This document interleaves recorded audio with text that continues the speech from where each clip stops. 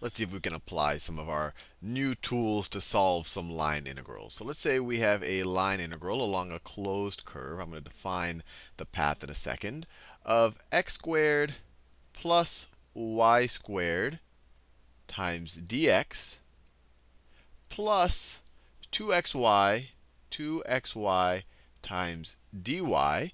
And then our curve C, our curve C is going to be defined by the parameterization x is equal to cosine of t, and y is equal to sine of t.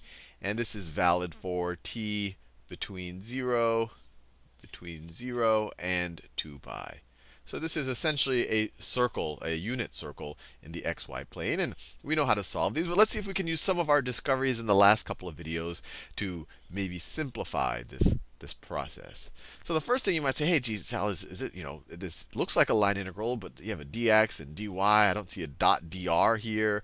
Uh, it's not clear to me that this is some type of even a, a, vector line integral. I don't see any vectors. And what I want to do first, and the, the reason why I wanted to show you this example, is just to show you that this is just another form of writing really a vector line integral. And to show you that, you just have to realize if I have some r of t, this is our curve. That's I don't even write these functions in there. It's going to, I'm just going to write it's x of t times i plus y of t times j.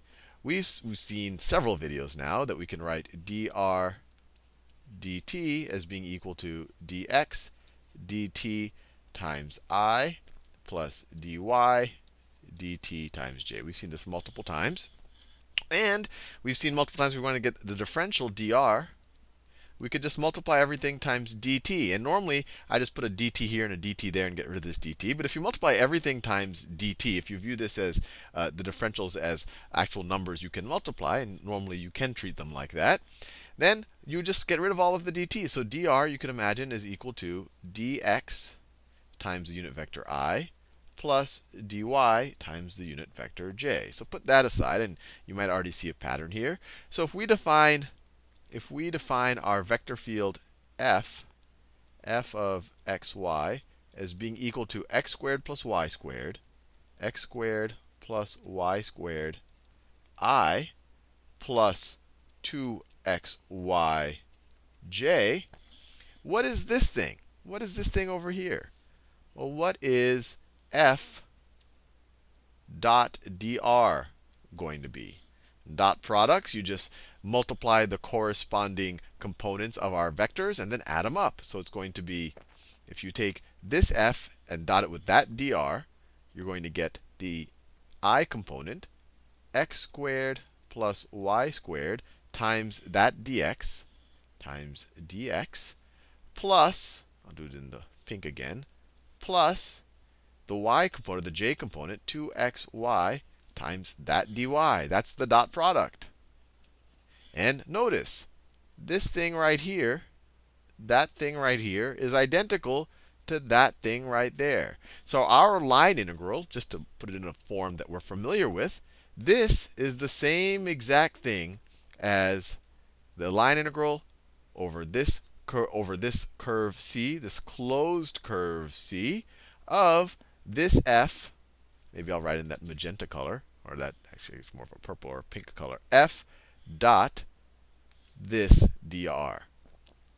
That's what this line integral is. It's just a different way of writing. And now that you've seen it, in the future, if you see it in kind of this differential form, you'll immediately know, OK, there's one vector field that this is its x component, this is its y component, dotting with dr, which it, this, is, this is the x component of dr, the i component, and this is the y component, or the j component of the dr. So you immediately know what the vector field is that we're taking the line integral of. It's this is the x, that's the y. Now, let's ask ourselves a question. Is f is f conservative? So is f is f equal to the gradient of some scalar field, we'll call it capital F. Is this the case? So let's assume it is and, and see if we can solve for we can solve for a scalar field whose gradient really is f. Then we know that f is conservative.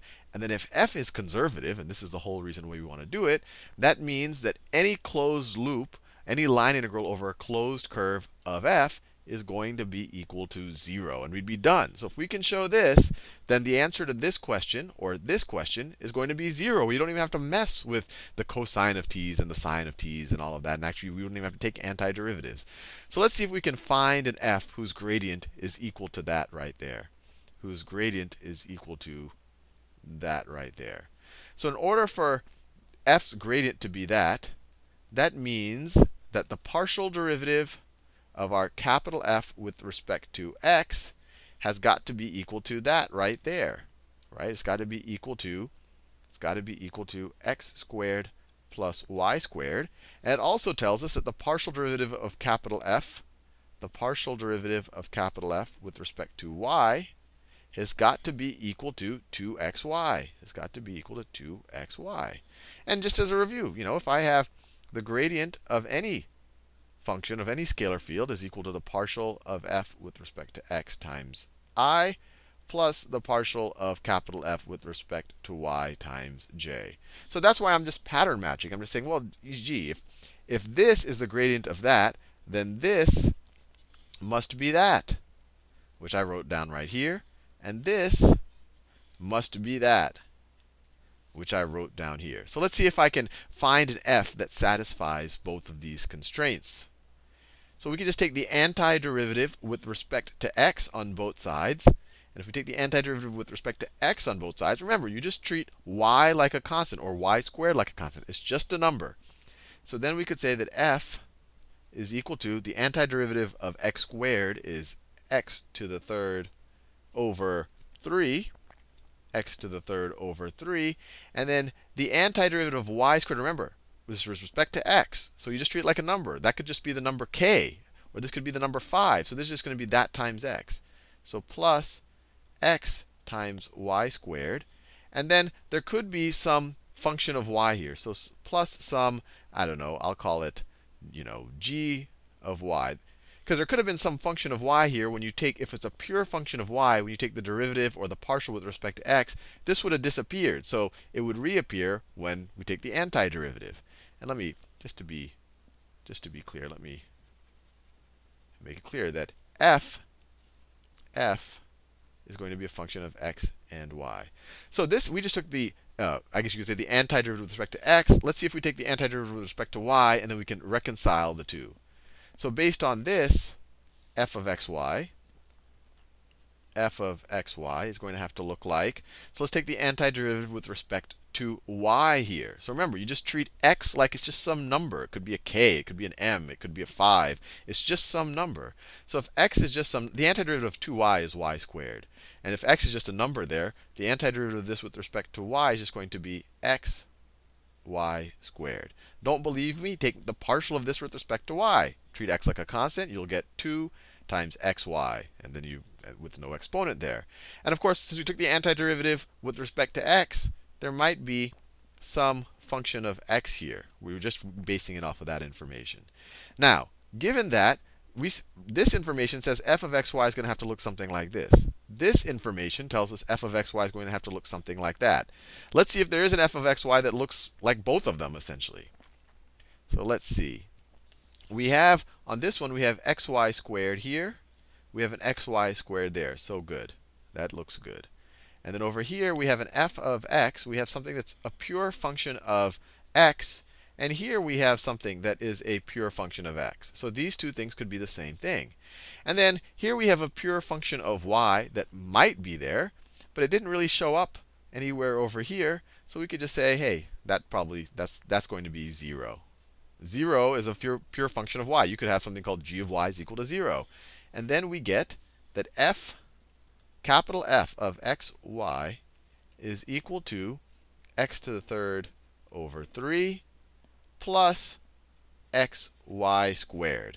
And the gradient of this is going to be equal to f. And we've already established that, but just to hit the point home, let's take the gradient of it. Just so you don't believe this little stuff that I did right there, let's take the gradient the gradient of f is equal to, and sometimes people put a little vector there because you're getting a vector out of it. You know, you could put a little vector on top of that gradient sign. The gradient of f is going to be what? The partial of this with respect to x times i. So the partial of this with respect to x, the derivative here is 3 divided by 3 is 1. So it's just x squared plus the derivative of this with respect to x is y squared times i plus the partial with respect to y. Well, the partial with respect to y of this is 0. Partial with respect to y of this is 2xy, or 2xy to the first. So it's 2xy times j. And this is exactly equal to f, our f that we wrote up there. So we've established, we've established that f can definitely be written, f is definitely the gradient of some potential scalar function there. So f is conservative, is conservative. And that tells us that this closed loop integral, uh, line integral of f is going to be equal to 0. And we are done. We could even ignore the actual parameterization of the path.